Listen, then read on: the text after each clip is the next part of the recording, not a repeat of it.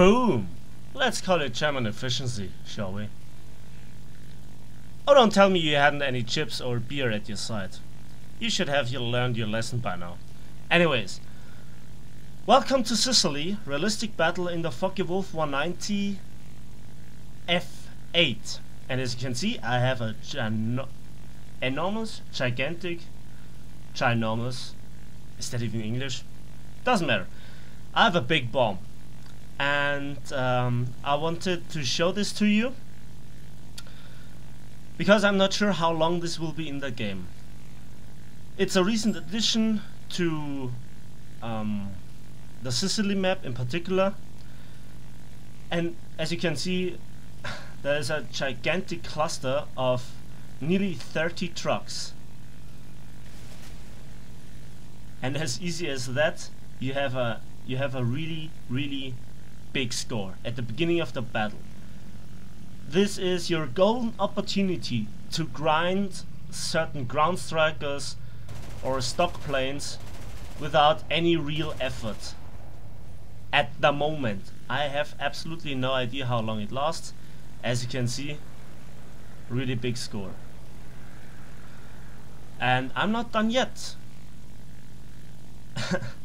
People were wondering what I was doing with those 28 ground kills and 2550 base experience I already got. And uh, yeah, I was a bit trash talking in, in chat. And I also was at this area and I spotted a P51 a few moments later and yeah, tried to convince him for some rolling scissors.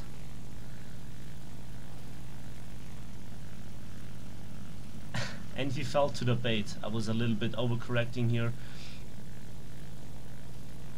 Another roll. As you and as you can see this plane is really heavy. Roll out of the way and he decides to just run.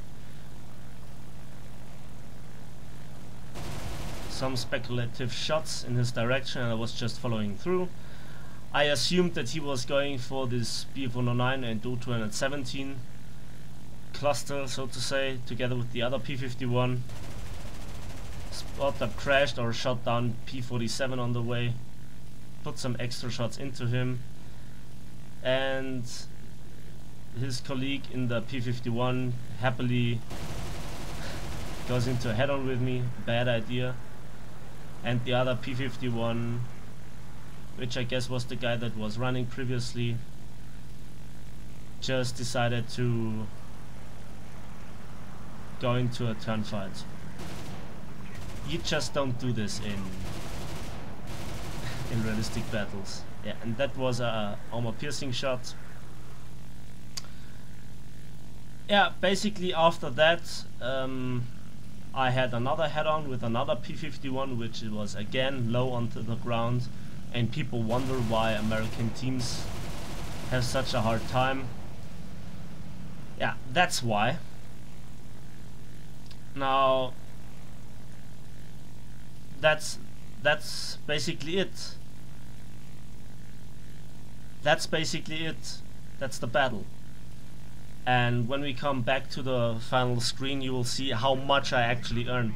Now the reason why why I um, have chosen this battle or this recording was basically I don't understand what people uh, in the Gaijin headquarters think when they do those changes to the live server. This is not the test server, this is the live server. Still patch 1.57 as you can see in the right corner and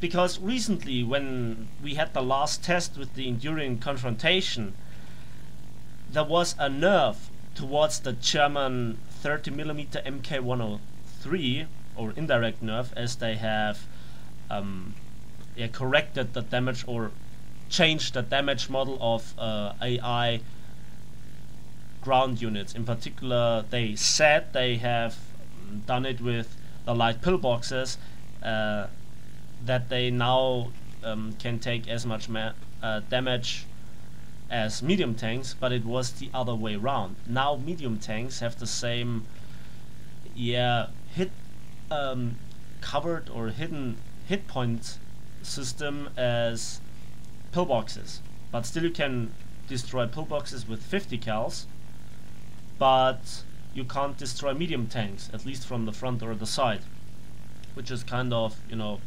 normal or to be expected. And this was, I guess, um, a nerf because the Germans were winning so often with ground units by destroying them or hunting them down with uh, the um, the 30 millimeter long barreled version. And it seemed to be a problem, but I don't understand why then after that they implement this ginormous cluster of of light vehicles that point-wise count as medium tanks. Now let's have a quick look at the post-battle results screen. As you can see, nearly uh, 85,000 silver lions and 5,000 research points. Uh, I have to say I also had a 30% um, research point bonus or um, booster activated and also a ginormous 4,765 um, base experience. You don't get those results very often yeah, basically, I have no idea why Gaijin makes such changes. I have absolutely no idea. But if you have any idea, let me know in the comment section below. Maybe it is um, a test series, so to say, for the upcoming patch 1.59. And yeah, we will see how it goes. So, thanks for watching. Anyways, please give this video a like and if you haven't subscribed already it would be nice if you do so thanks for watching thanks for listening see you next time